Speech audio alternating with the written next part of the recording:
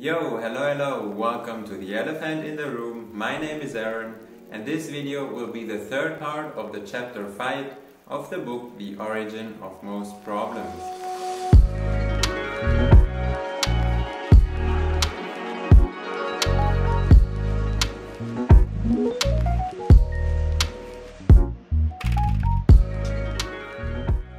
So let's first remember what we talked about in the last video. I mean, there are people who think that we need rules and laws in order to stop bad human behavior. But then we met the bad students, the bad students of our world. We met the mafia, the smuggler, the terrorist, the hacker, and the cheater, and together they formed the so called bad tribe, um, consisting of 120 million members, or even more than that, and um, they just prove that things like rules and laws don't work because these people they don't give a shit about them. Like rules and laws are usually for good people. They take them seriously. But no mafia no terrorist no hacker really respects rules and laws so these things don't work. So then in order to stop bad human behavior we should not focus on um, the bad human behavior itself, but instead what creates that bad human behavior. And that's what we argue throughout that book, Our Trade Based Society. So then we thought about okay, we need to burst the trade bubble, but how can we do that? And the TROM superhero is now going to explain that um, with a story which is about focusing on a problem with force solutions. So the TROM superhero explains throughout the human existence or history, there was a kind of a mystery, like we can call it a monster ghost, that killed like not only thousands or millions, but even billions of human beings that have existed on this planet Earth. He is saying 2000 years ago, this monster ghost eradicated some 30% of Europe's, Western Asia's, and Northern Africa's population. 1500 years ago, it killed 40% of Europe, Egypt, and West Asia. And 700 years ago, it killed almost half of the population of Europe, Asia, and North Africa. Then 400 to 500 years ago, it almost eradicated the Mexican population, killing 80% of them. And a few years later, it came back to Mexico, killing another 50% of the remaining humans. 300 years ago, in Persia, it killed 2 million people in one single year. 150 years ago, it claimed 1 million deaths in Russia, and 100 years ago, 75 million lives worldwide in just two years. But then, in the past years, these deaths created by that monster ghost have declined dramatically in proportion to the population. So there were only 1 to 2% of deaths worldwide um, due to that monster ghost 60 years ago only 0.03% 50 years ago and only 0.0002% of the world's population some 10 years ago. So this monster ghost killed almost the entire human population in the past 2000 years, yet it almost made no dent in the past 100 years ago. So why and who in the world is this monster ghost? Do you have a clue? Well, humans theorized about this monster ghost already 2500 years ago, where they thought of it um, like some seeds, kind of, which are in the air, and those seeds get inhaled by people and they make people sick. They also thought that these seeds lurk inside some people and they can activate again after a while. And um, yeah, so in time they still didn't had a clue. They learned more about it, like they understood that certain places are more prone to infect you with these seeds and that these seeds can transfer from one person to another. Some concluded even that these seeds are self-generated as though they sparked out of rotten meat but not much was done to avoid its deadly powers, because of course they didn't know exactly. So they could not fight it or run away from it. Then there was a guy who changed the history of humanity forever. kind of, because he did an experiment. So what he did was he took three jars, all with a slice of meat inside and also with an egg inside. And then um, the difference between those three jars was that one had a lid, the other one had just a cloth on top, and the third one had no lid. So what happened after a couple days was that the one with no lid had like maggots inside, the one with the cloth on top had maggots only on the cloth, and the one with the closed lid had no maggots. So aha, the guy realized the monster ghost is not self-generated, it comes from somewhere and it gets attracted to the rotten food. It was the first time they proved that this monster ghost is more than just a theory. It is real. But still, who is it? And then, you know, people invented um, the microscope, they came up with a microscope, and they were finally able to see and touch, basically, see the monster ghost. And they saw these little tiny germs, these microorganisms, bacteria, and viruses and um, came up with the germ theory of disease. Like finally they figured out that it were um, those little bacteria and viruses that created these infectious diseases. And they realized that if you boil water and thus kill them, you almost eradicate certain infections. And if you wash your hands with some special substances like soap before surgery or delivering babies, you drop mortality from infectious diseases by a staggering amount. Thus, the germ theory of disease. And they finally um, understood the problem. And this is also the first thing that the TROM superhero wants us to understand that there is no solution without a problem. Of course, like if you don't know what you're fighting against, then you cannot fight it properly, right? And um, yeah, thousands of years dealing with this problem pushed humanity to finally find a solution or multiple solutions and the explosion of real solutions only came about 100 years ago when people better understood the monster ghost. If they had no clue that there are tiny organisms that spread and create diseases and later deaths, they could not apply any highly impactful solution. So now we find solutions like boiling water or cooking food before drinking or eating just as a no-brainer, it's just a normal thing today.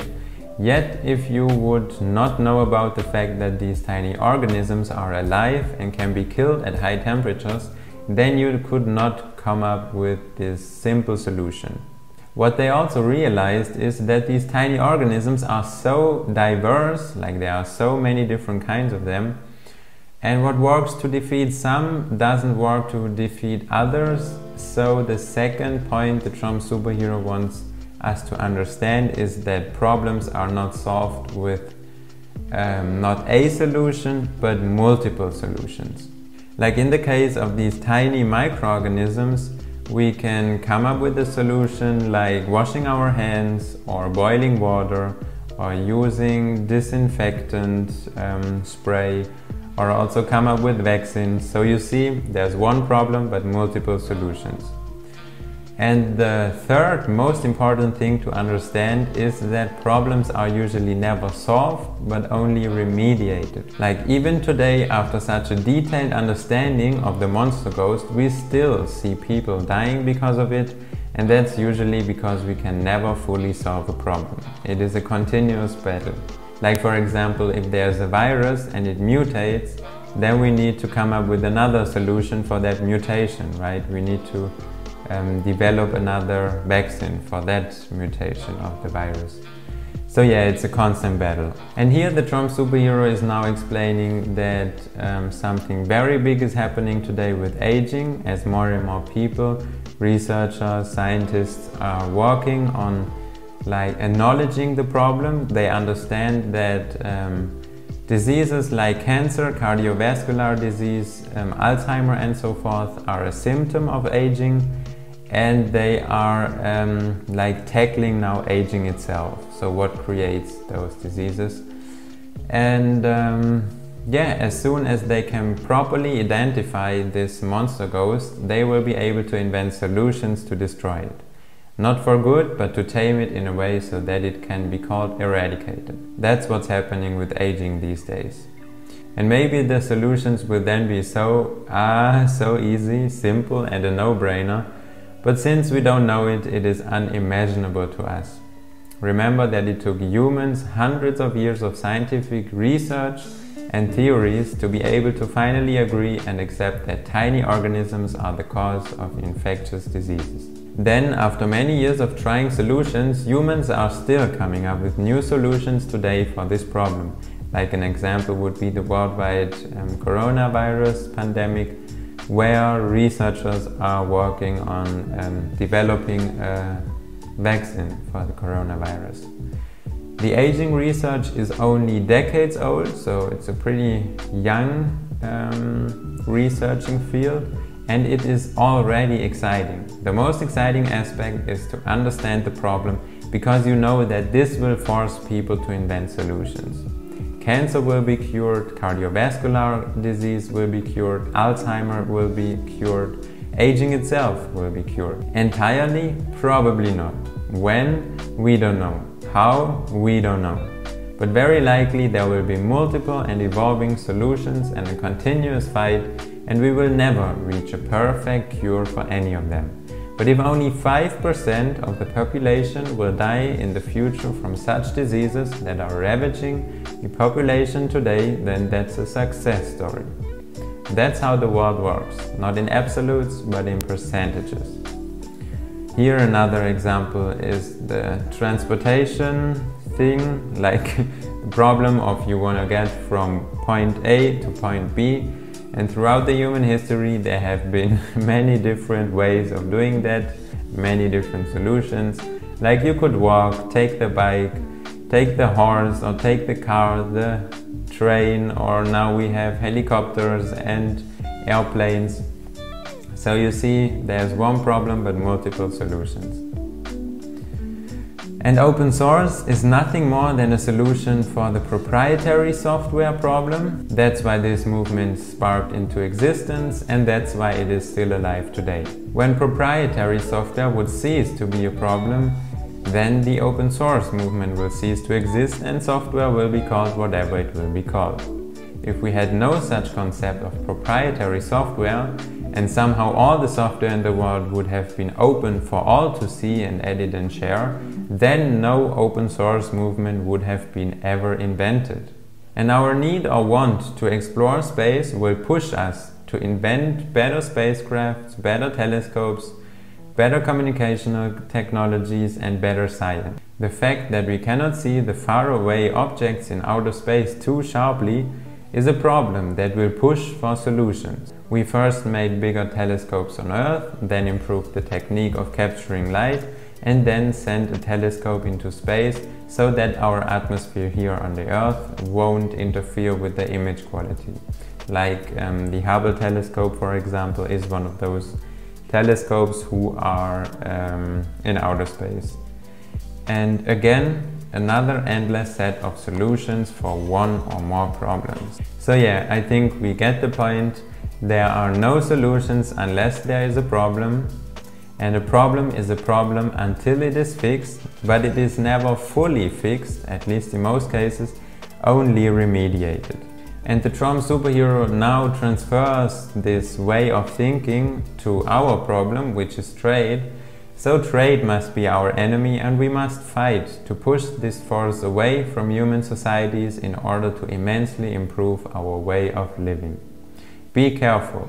If the problem is ill-defined, then the solutions to it will also be lacking. The war on terror recognized terrorism as the problem, yet it could not find a solution for it because the problem was ill-defined and it was in fact a symptom of another problem Therefore, they could never find a solution for it. Hence, the reason why this journey we started was so long was because the TROM superhero had to define the problem in a robust manner, else the solutions would have been inefficient and vastly pointless. And now we have a very solid understanding of our problem, trade, trade-off, and the need for trade. So now there are different people coming in and they think like, or they question what exactly is a trade? Like, what if I fix computers and that makes me feel good? Is that a trade? The other one is asking, is it a trade if you have a pair of shoes that fit me better and I have one that fit you better and we exchange them? Is that a trade? And the dog is asking, what if someone gives me a gift and I feel like I should give a gift back? Is that a trade? And the TROM superhero says, Hold on, creatures. A trade is simple to understand with the following You do something only if you get something else in return from the other part. It is a transaction between two parties. If you repair computers but ask the other humans to say thank you, else you won't repair them, then yes, that's a trade. But if you don't ask them for anything and you just feel good doing it, then that's not a trade. At least not what the TROM superhero is talking about. Because you see, when you put the microscope on any idea, it becomes bizarre. Much in the same way, reality becomes bizarre when you look deeper. How long is a meter? Like, if you look at the end of the meter, then there are atoms and there are small, like tiny electrons around these atoms and you cannot determine the position of these electrons exactly. So if you look at the microscopic level, um, then it's tricky to define something. But we are talking about the macro things, the macro trades. And TROM superhero is saying we don't need to define it perfectly because if you put the microscope on the open source idea, you'll see that you cannot define it well at all. Actually, there are so many open source licenses out there, especially because the more you dig into them, the more weird things you will find out. For instance, is this open source app that allows you to communicate in an encrypted way with other people, is it truly open source since no one can see the encryption keys or encrypted messages? Like, I mean, if everything is open source, then you should also be able to see the encryption key but of course then it won't be um, encrypted anymore. Um, another example is the program VeraCrypt, like the GetGo program to encrypt files and folders on Linux. The application's developers say something like, our application's code is open source, anyone can use, share and edit it, but you are not allowed to sell it because they want it to be truly free. But the free and open source movement says that you must allow people to sell these open source pieces of software as well. So the only contradiction here is that the people from VeraCrypt don't want their piece of software to put behind any paywall. In a sense, the VeraCrypt license is more free and open source than what the Free and Open Source Software Foundation is talking about. And when this community says you can do whatever you want with this piece of software because you are free, then are they okay with it being used for terrorist attacks? Some are and some are not. So you see, put the microscope on open source and you'll see a lot of misunderstandings, debates, conflicts and tons of licenses. But for our macroscopic world, Open source is understood as code that is open and you can edit, share and use it. That's what the important bit is. Like that's what also we need to concern ourselves when it comes to trade. We are caring about macro trades and not micro trades. Like if you go if you go to pee and that relieves you and makes you feel emptily great, is that a trade because you pee to feel good? I mean, of course not. That's some nonsense that no one should care about. If someone gives you a gift and you feel obliged to give back something else, then that's your problem. I mean, you are not forced to. And the person gave you that gift and he like doesn't give anything in return because else it's not a gift, right? And um, if you exchange shoes voluntarily, then that's sharing. It is easy to see where the macro trades really are. You want food, then work 8 hours per day, else you don't get food. You want clothes, security, etc. Again, work, work, work to follow our rules, else you get none of that. You want healthcare, give us your data, else you get none, and so forth. So these are the macro trades that we are talking about. And um, yeah, we are not talking about the micro trades. The TROM superhero is saying don't lose your focus. The open source movement's weak points are when they forget what the problem is, proprietary software. And so nowadays you will see many open source projects that are very much okay with accepting parts of their software to be proprietary. For example, operating systems that proclaim to be open source, yet they come pre-installed with all kinds of proprietary software, make the open source movement weak and in time will transform it into something very different like Android has become. And this failure is on the rise in open source communities, transforming them from caterpillars to butterflies and back to caterpillars again. This is why movements like FOSS, so free and open source software, have emerged and its mission is exactly fighting the enemy, proprietary software. And because their mission will always be to get rid of proprietary software, they cannot fail or mutate over time since the problem remains the same and it will be a problem and the kid is adding until the problem gets remediated.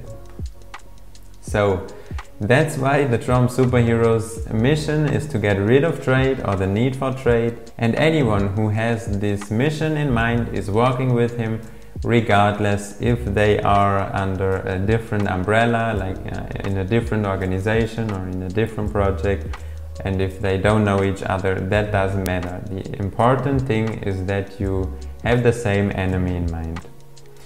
And if 1000 research teams work to solve aging and 3 teams come up with a solution to fix aging, then that's a victory for all the other teams and more likely the solution was built on the backs of the other team's research as well. If another superhero like the TROM superhero will come up with solutions to make trade obsolete, then this is as much a victory for that superhero as it is for the TROM superhero. Here is just explained that a common enemy unites people, like if an asteroid, for example, is on the way of hitting planet Earth, then basically all tribes will work together to, I don't know, maybe stop the asteroid or shoot it or push it so that it misses planet Earth. Um, but yeah, you get the point, they will all work together. And in another scenario, if like an alien species will come to Earth to kill all of us, then we will also um, work together and fight them together like the Chinese and the Americans will work together, the KKK supporters and ISIS, Europeans and Russians, the mafia and the charlatans, statopus and privatopus will all be in this fight together to protect ourselves. And the TROM superhero says if trade is our global threat understood and recognized by most people, then it will get remediated. So yeah, that was it for this video. I mean, it also just makes sense, right? I mean, if we would just stop all this political fuckery, like this bullshit that's going on, like I'm left, I'm right, I'm Republican, I'm a Democrat, I'm this, I'm that. And these are just groups that divide us. But if we just like focus on this trade problem altogether and fight it, then we might migrate into a saner society. And yeah, in the next video we are going to learn that societies are not invented, they evolve. So um, it's also gonna be super interesting. I hope you found this video interesting. And I'm just gonna say I look forward to the next video. As always, take care, much love.